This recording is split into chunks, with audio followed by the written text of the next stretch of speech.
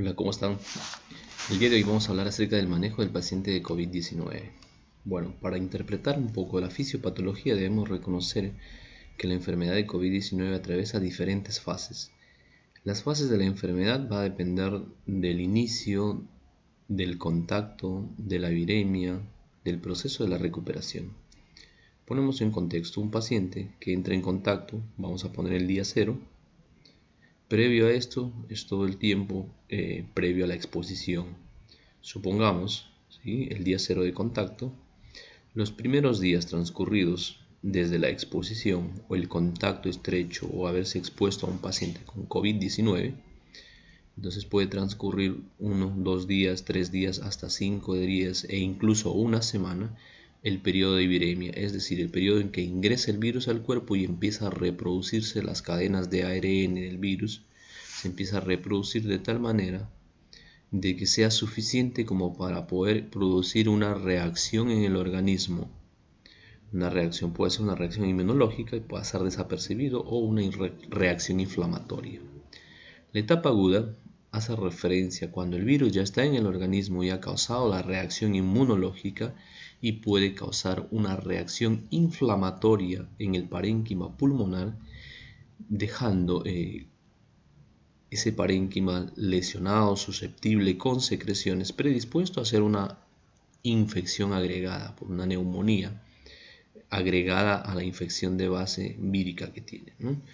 Entonces, eh, después de ello, transcurre más o menos un promedio de dos semanas entre el séptimo y el décimo día se desencadena la reacción inmunitaria, una reacción exagerada del organismo que puede ser controlada, y a eso lo llaman tormenta de citoquinas, todas las reacciones que se producen en el organismo, eh, donde eh, nosotros determinamos, nuestro organismo determina si es suficiente con el organismo para poder responder la respuesta inmunológica o va a necesitar de ayuda de ventilador mecánico, vaya a necesitar de un respirador artificial para ayudar en la mecánica ventilatoria y en el intercambio de oxígeno. Estamos hablando de porcentajes, porcentajes de tiempo, porcentajes de, pacientes. Eh, se dice que un promedio del 80% de las personas que se infectan por COVID-19 no va a necesitar ningún tipo de ayuda eh, excepcional, es decir, va a pasar desapercibido, asintomático, sin ninguna manifestación clínica. Un, 20 un 15% va a ser un tipo de infección ¿sí? entre leve y moderada y un 5% que va a ser una infección grave. Entonces va a, necesitar incluso de terapia intensiva. Entonces, eh, en la primera etapa vírica, el proceso en la replicación del virus, en la etapa aguda de la neumonía es la reinfección del pulmón por un germen adicional o por la misma infección del virus. Y bueno, entre el séptimo y el noveno día, entre el séptimo y el onceavo día, eh, el organismo toma, eh, eh, es donde nosotros vamos a saber si es que el paciente se recupera o se va a complicar la situación de salud. Entonces, ¿qué tiempo es el que permanece contagioso?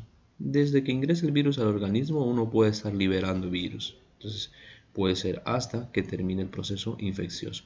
Va a haber procesos infecciosos de los pacientes eh, eh, que son asintomáticos, que en dos semanas el virus va a desaparecer. Personas que van a hacer una neumonía eh, moderada, que incluso van a necesitar un periodo de tiempo más largo. 21 días para poder hacerles el, hisopado o una prueba de control para determinar si todavía hay carga viral y se les puede dar de alta. Pero en aquellos pacientes que han hecho una neumonía grave, entonces se habla de un periodo de 4 semanas a más de tiempo. Entonces decíamos, el periodo más crítico va a ser entre el séptimo y el noveno día, donde va, se va, nuestro organismo está luchando con la tormenta de citorquinas para ver si puede liberarse o liberar esa esa reacción inmunológica del organismo. Los estadios pueden ser, en el estadio 1, los síntomas son leves, el paciente asintomático o con poco, pocos síntomas. Estadio 2 o moderado, donde hay una radiografía anormal y el paciente puede hacer una neumonía atípica, eh, moderada, y en estadio 3, cuando el paciente entra en distrés respiratorio, síndrome de distrés respiratorio agudo, además que se agrega una infección sobreagregada en los parénquima pulmonar, puede incluso llegando a tener insuficiencia renal, insuficiencia cardíaca o enfermedad metabólica. Estos pacientes, la clínica de estos pacientes es que tienden a hacer hepatopatías, además de eh, eh, no se les puede controlar las hiperglicemias, ¿no? hacen hiperglicemias a repetición. En el estadio 1, ¿cómo se dan cuenta? haciendo un testeo rápido, se les, les, puede identificar al paciente que ha sido contacto de algún COVID positivo, pareja, familiar, o trabaja eh, generalmente con ellos, pasa mucho tiempo, se le hace la prueba y sale linfopenia, LDH elevado, dímero D elevado, pero asintomático. En el estadio 2, aquellas personas que tienen una neumonía moderada, incluso pueden llegar a tener una hipoxia, estar desaturando, el dímero D elevado, el LDH y las transaminases elevadas. Y en estadio 3, un predictor de, las complicaciones, la ferritina. Ferritina, dímero D elevado, PCR, troponinas, creatinina y tiempo de coagulación eh, alterado. Generalmente están disminuidos, es decir, más rápido se va a formar el coágulo. Entonces, en las pruebas inmunológicas, la reacción en cadena de la polimerasa puede ser sensible e incluso desde las 24 horas de uno que se ha expuesto, ¿no? desde que empieza a tener las manifestaciones clínicas, ya puede eh, eh, identificarse eh, la carga viral por reacción en cadena de la polimerasa. Generalmente es susceptible a partir de las 48 horas de haber tenido síntomas, es decir, es más probable identificarlo, pero eso no quiere decir que al inicio de los síntomas no se puede, se puede identificar, sí, es menos sensible, ¿sí? pero es muy específica. La inmunoglobulina M, la inmunoglobulina M hace referencia a la inmunoglobulina de memoria, ¿no? la, la, perdón, la, inmunoglobulina M hace referencia a la inmunoglobulina de, eh, cuando ingresa el, virus al cuerpo y empieza a generar anticuerpos. Una, inmunoglobulina eh, eh, activa, de una infección activa, que generalmente aparecen después de la primera semana de infección. El, cuerpo, el organismo tarda una semana más o menos en, empezar a identificar al germen, a procesar de qué tipo de germen es y a generar defensas contra eh, ese germen. Entonces a eso lo llamamos anticuerpos. Y la, y la inmunoglobulina M es eh, una inmunoglobulina de, que hace referencia a una infección activa y generalmente aparecen después de la primera semana de haberse expuesto al microorganismo, después del séptimo día. Y se va, va, a mantener activa durante eh, todo el tiempo que empiece a producir nuestro organismo o esté el, virus esté en nuestro cuerpo. En el caso del COVID-19, la inmunoglobulina M va a estar presente hasta que el virus esté en nuestro organismo. Y la inmunoglobulina G, que es una inmunoglobulina de memoria que aparece después, después de las más o menos a la segunda semana, que es eh, una inmunoglobulina de memoria, es decir, que aparece cuando ya la infección está pasando, la infección activa está pasando y ya queda como un recuerdo inmunológico. Eh, los periodos de la interpretación de los COVID es periodo de ventana, que son los días en donde no hay manifestaciones clínicas o donde recién va a empezar. El estadio temprano, que es el proceso de la replicación viral, cuando ya entre el periodo de ventana y el estadio temprano eh, está disminuyendo la carga viral y está aumentando la, carga inmunológica. La fase reactiva, los días donde ya el cuerpo ha empezado a, ya tiene inmunoglobulinas, tiene defensas, el, cuerpo empieza a, reactivar todo el mecanismo de defensa para eh, poder contrarrestar la fase inmunológica de la enfermedad y la fase final, la recuperación o convalecencia. Y bueno, quedamos con inmunología de memoria, una inmunología pasada. Este es más o menos todo el proceso que ocurre. Algunos, algunas personas van a pasar desapercibidas sin ninguna manifestación clínica, algunos van a ser síntomas como un resfriado común y algunos a ello sintomatología como de un resfriado común y a ello sumado con una complicación de una neumonía. Entonces, ¿qué manifestaciones clínicas van a tener? Va a depender del estado de la enfermedad. La profilaxis hace referencia a qué es los mecanismos de cómo nosotros nos vamos a cuidar para no podernos infectar. Sabemos que no hay vacuna, pero utilizando un equipo de protección adecuada para poder eh, prevenir la infección. Además de fortalecer el sistema inmunológico y se habla incluso de algunos medicamentos que ayudan con el sistema inmunológico eh, e incluso a impedir la replicación viral.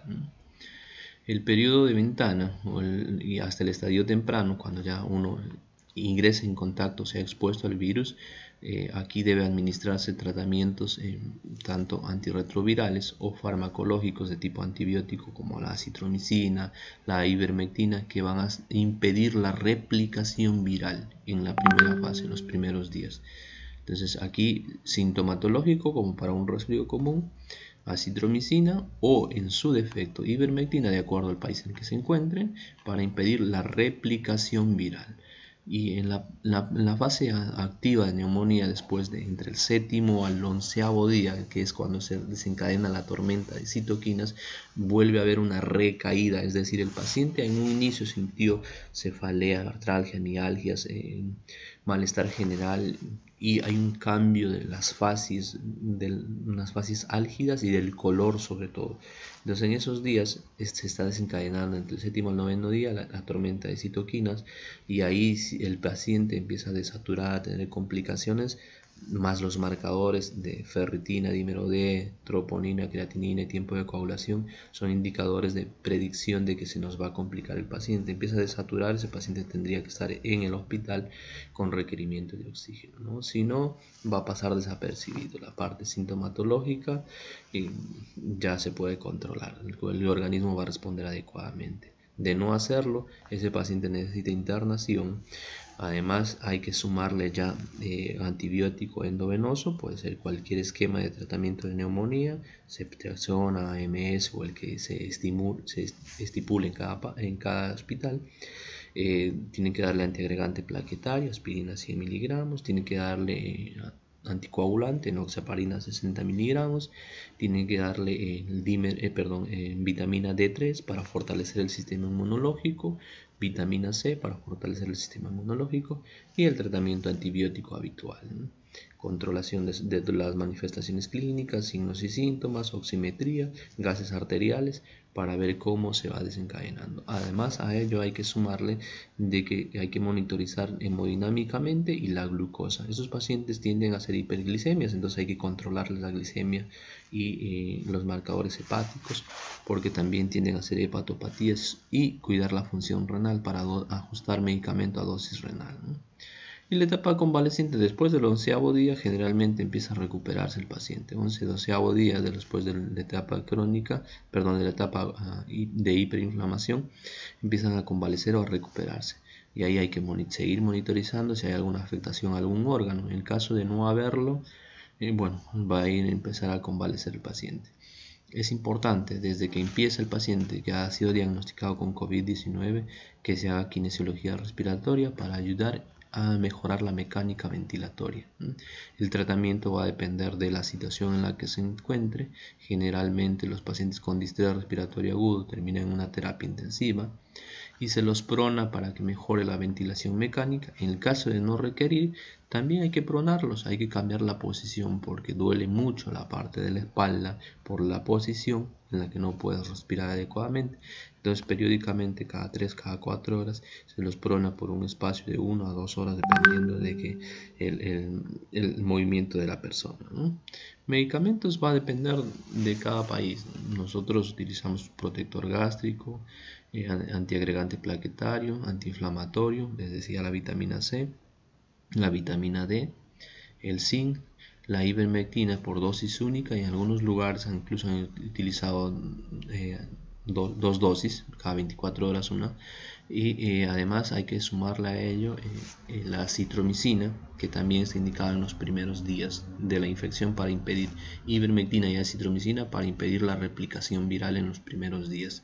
Y el antibiótico para prevenir cuando ya se ha diagnosticado neumonía todo paciente con neumonía tiene que ir con un antibiótico. Generalmente estamos utilizando ceftriaxona o AMS o depende del esquema que utilicen ustedes. Es más o menos una secuencia rápida de cómo manejar al paciente. La bibliografía ha sido sacada de diferentes protocolos del Ministerio de Salud de la provincia de Buenos Aires, de, bueno, y del Ministerio de Salud de Bolivia y de Perú.